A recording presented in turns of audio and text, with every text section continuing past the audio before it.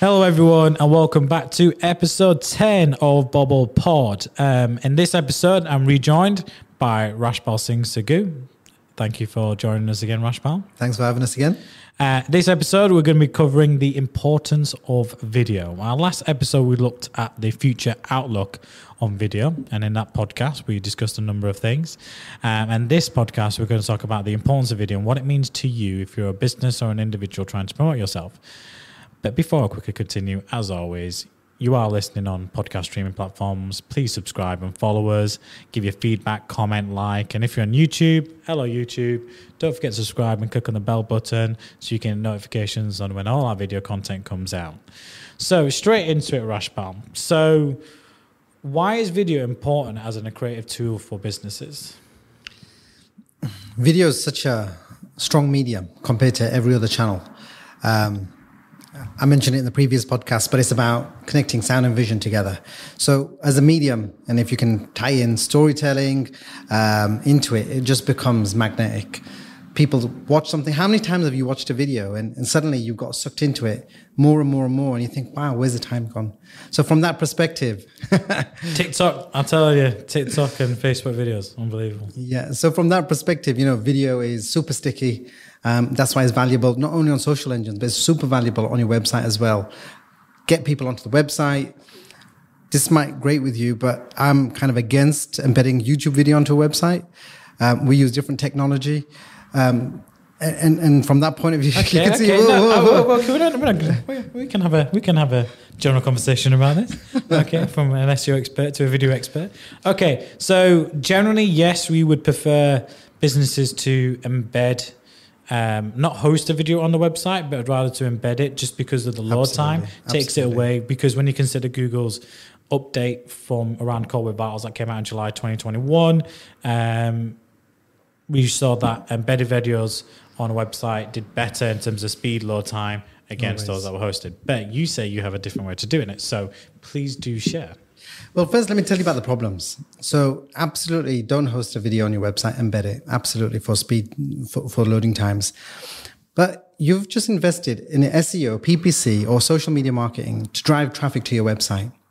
So, all of them pennies, pounds, and tens of pounds, hundreds of pounds, thousands of pounds, you've you've just paid to get traffic to the website, and you've got a YouTube embed there. All they've got to do is click that one YouTube logo or the title, and all of that money has been slightly compromised because now they're on YouTube. And YouTube's goal is to keep you on YouTube. So you watch a video and you see another likewise video, or you get distracted and you look down the side panel and you see other videos that might be more interesting. And if we flip back, let's say you didn't click the uh, the YouTube logo or the title, you get to the end of the video, you get a beautiful mosaic of other videos that might not be related to the business or service that you're looking at on that website.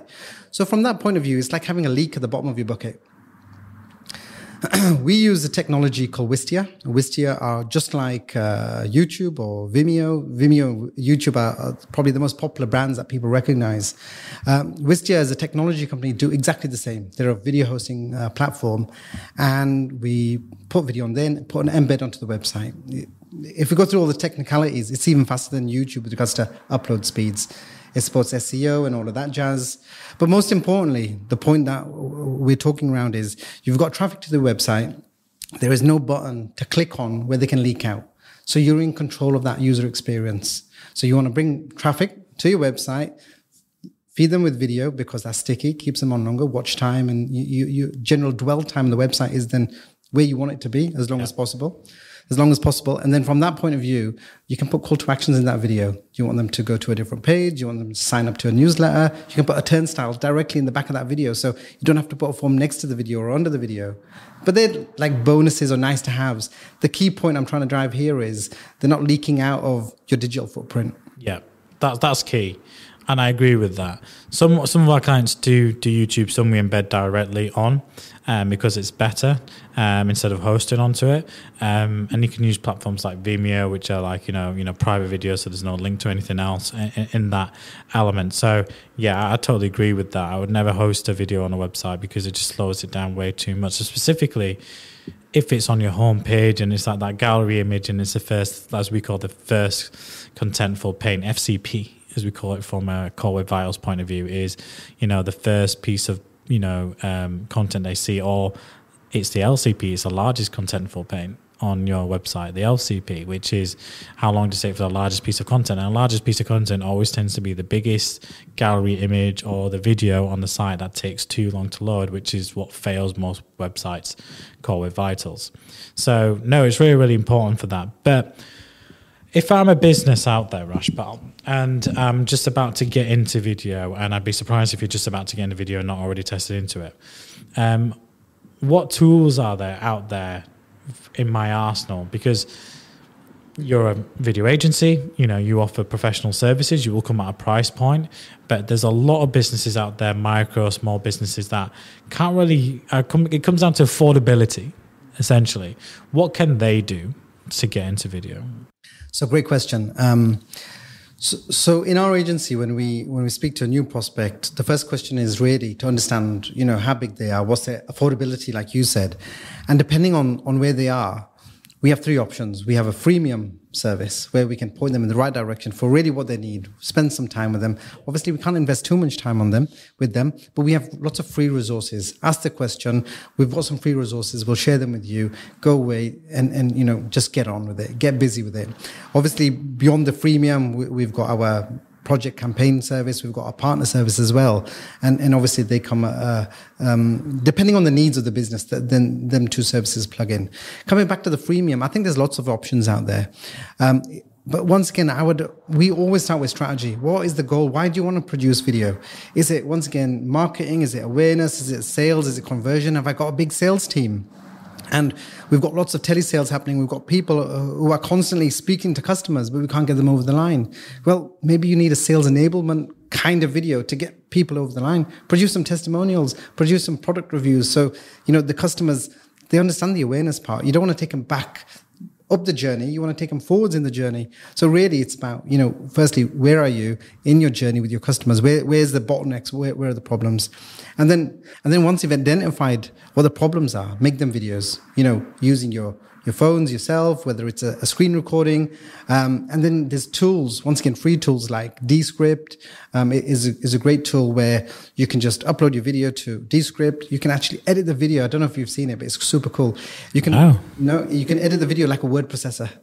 So you're not editing like an editor would edit on a timeline. You're actually looking through the words and saying, okay, take that word out, take that word out, just like Google Docs or, or a word processor. Does not, not make I mean, we could probably use that because you know we we we kind of shoot this in one go, um, and if I'm really honest with you, sometimes you know I might not say a certain word right, or come across. I think in the first one I couldn't say like skeptical um, or something. I said skeptical or something like that. Um, but you know we kept it in there because it, it humanizes you know the content, but is there a risk that if you like make too many mistakes and take some out keywords, then it doesn't really make sense when it comes together? Well, that's like anything, isn't it? When you write a story, if you take out too many of the key words, when writing a story, it's not going to make sense either. so, so from that point of view, absolutely. What, what's quite magical about Descript, it's got some artificial intelligence in there, and you've got to like record so many hours of content, and it, and it starts to recognize your voice, and you can actually type in words, and it will recreate your voice which is quite a scary thought, really, because you could write a whole document out and they'll voice it out without you having to record anything. If it was just voice only, obviously you can't do the video aspect of it. But that's. Pretty... I'm not sure if my Yorkshire accent is something they want to uh, automate. I mean, I know I've got a strong Yorkshire Leeds accent, and I'm proud uh, more than anything else. But I know my voice is a lot deeper. I don't know if it's, to be honest, I don't know if it's suited to podcasting or video or speaking. I just know this is the voice I was born with, and this is what I've got. So fingers crossed, it's um, it's all good. But yeah, my voice in general, I'd, I'd, I'd love to see that automated. um, the less I have to talk on something like this, probably the more time I save from a business perspective. But okay, I see a lot of companies make a lot of mistakes with video. Um, from a marketing perspective, social media perspective. Um, what mistakes do you see that companies make, and what should those businesses try to avoid? Yeah, great question. So the mistakes that I see quite regularly, a lot of businesses make is um, when planning the the strategy and then delivering a campaign there isn't a joint up conversation between all parties. There's typically client, agency, and video company. And what tends to happen is the client says, we need a campaign, we've got an event, let's put landing page together, drive traffic to the um, landing page. Or let's put a video on there. We've got some video from um, a previous event. Or we can get somebody in to make a short promo and put it on the landing page. So agency goes away, puts the landing page, looks nice. They independently speak to a video guy and, and they make a video and then, you know, just like a bit of a jigsaw, they put it in and, and yeah, technically all fits and works. But when they come to the results and they see the results and they think, well, well, we got 20,000 people that hit the landing page because we can see the stats. But um, we didn't get that many conversions. And, and then they suddenly think, well, out of the design and the, the build of the landing page and the cost of the video. Well, the video was the most expensive. Oh, we're not going to do video again.